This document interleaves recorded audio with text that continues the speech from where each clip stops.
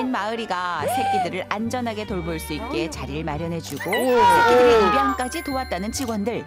그런데 또 두 번째 새끼를 같은 곳에다가 낳았습니다. 에? 어머 어머. 아니 그러니까 첫 출산을 한 지 두 달 만에 또 새끼를 낳았다는 거예요? 어머. 어 웬일이야?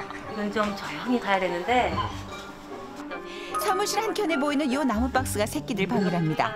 어디 보자.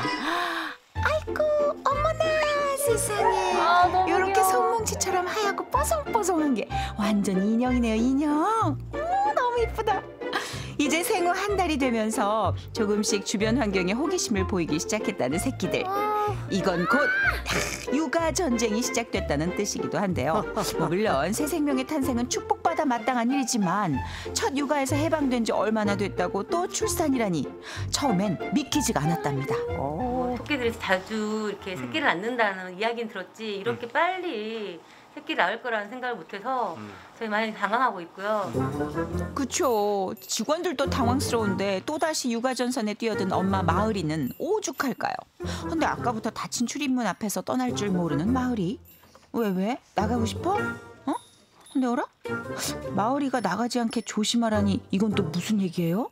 귀찮아서 그러는 건지 아니면 애기들한테 애정이 없는 건지 그냥 밖으로 그냥 이렇게 뒤도 안 보고 도망을 착 나와서 사교 분리를 보니까 아 그러니까 한창 젖먹이 새끼들 육아를 해야 할 시기에 새끼들은 나 몰라라 밖으로만 돈다는 겁니다. 지금도 어떻게 어떻게 호시탐탐 나갈 기회만 엿보는 것 같죠? 아니나 다를까? 어. 나오지 마 에, 토끼 토끼 나오지 마 나오지 마 아이고 열린 문틈으로 잽싸게 탈출에 성공하는 마을이 그리곤 전속력으로 앞만 보고 내달리기 시작하는데요.